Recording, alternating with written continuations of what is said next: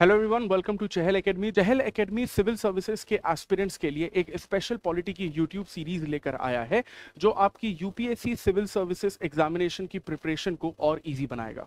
इस पॉलिटी के introduction video में हम लोग ये देखेंगे कि पॉलिटी के कौन कौन से इंपॉर्टेंट टॉपिक्स हमें कवर करने हैं। We are gonna study in this video number one what is polity means polity का मतलब क्या होता है? Number two the subject summary of polity means कौन कौन से कंसेप्ट या टॉपिक हमें इस प्लेलिस्ट में कवर करने हैं. And number three about Indian polity means polity का कंसेप्ट किस तरह से Indian political system and government system में अप्लाई होता है. Let's begin with this video. With understanding of what is polity. Polity is a study of system of government and process of governance. Means government किस तरह से function करती है, किस तरह से काम करती है, और गवर्नमेंट के जो अलग अलग ऑर्गन्स होते हैं दैट इज़ एग्जीक्यूटिव लेजिस्लेटिव और जुडिशरी इन तीनों के बीच में पावर्स का डिस्ट्रीब्यूशन किस तरीके से किया जाता है इस इंडियन पॉलिटी के सब्जेक्ट में हम साथ ही साथ ये भी कवर करेंगे कि कॉन्स्टिट्यूशन दैट इज़ संविधान क्या होता है सिस्टम ऑफ़ गवर्नमेंट यानी गवर्नमेंट किस तरह से काम करती है? कॉन्स्टिट्यूशनल बॉडीज जैसे finance commission CAG election commission and non constitutional bodies means CBI NIA national human rights commission and political dynamics जिसमें हम देखेंगे पॉलिटिकल पार्टीज़ के बारे में एंड इलेक्शन के बारे में। If you basically understand the subject summary of polity हम इसमें जो टॉपिक्स पढ़ने वाले हैं that is gonna be number one constitution means संविधान। इसके अंतर्गत मेकिंग ऑफ़ इंडियन कॉन्स्टिट्यूशन यानी हमारा कॉन्स्टिट्यूशन कंस्टिट्यूंट असेंबली ने कब बनाया? कैसे बनाया, इसमें जो मेजर और माइनर कमिटीज थे, उनके क्या क्या काम थे। इसके अलावा प्रियम्बल ऑफ़ इंडियन कॉन्स्टिट्यूशन, यानी इंडियन कॉन्स्टिट्यूशन की जो पूरी की पूरी फिलोसॉफी है, जिसके तहत हमें लिबर्टी, इक्वालिटी, फ्रटर्निटी, सोशलिज्म और सेक्युलरिज्म जैसे कंसेप्ट पढ़ने हैं, तथा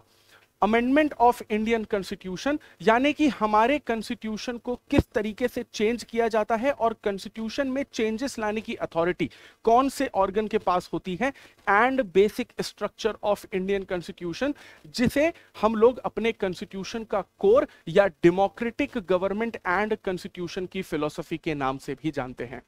दूसरी चीज़ जो हम लोग इसमें पढ़ने वाले हैं that is gonna be system of government and under that we are gonna study parliament जिसमें हम लोग लोकसभा, राज्यसभा प्रेसिडेंट कवर करेंगे। सेंट्रल गवर्नमेंट जिसके अंतर्गत हम लोग prime minister council of minister and state government जिसके तहत हम लोग chief minister and state council of minister के बारे में स्टडी करेंगे। साथ ही साथ union territories and local government that means panchayat और नगर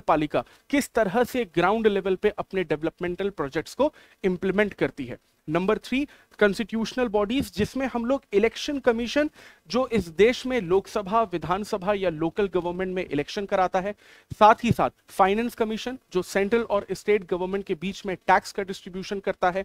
जीएसटी काउंसिल जो गुड्स एंड सर्विसेज़ टैक्स को सेंट्रल और स्टेट गवर्नमेंट के बीच में डिस्ट्रीब्यूट करता है, साथ ही साथ CAG that is controller and auditor general of India जो गवर्नमेंट के एक्सपेंडिचर की ऑडिटिंग करता है, और यूपीएससी और स्टेट पीएससी जैसी कॉन्स्टिट्यूशनल बॉडीज जो सिविल सर्विसेज़ एग्जामिनेशन को कंडक्ट कराती है। साथ ही साथ नॉन कॉन्स्टिट्यूशनल बॉडीज जिसके तहत हमें नीति आयोग पढ़ना है, जो इस देश के डेवलपमेंट के लिए पूरा का पूरा काम करती है और प्लान प्रिपेयर करती है and national and state human rights commission जो आपके और मेरे ह्यूमन राइट्स को प्रोटेक्ट करती है। साथ ही साथ सीबीआई जो करप्शन से रिलेटेड जो केसेस होते हैं, उनको सॉल्व करती है। और लोकपाल जो करप्शन को रोकने के लिए इस देश में कानूनों को इंप्लीमेंट करती है। साथ ही साथ इंटरनल सिक्योरिटी के लिए एक बहुत important perspective that is national investigation agency NIA और इन्वायरमेंटल इमरजेंसी सिचुएशन में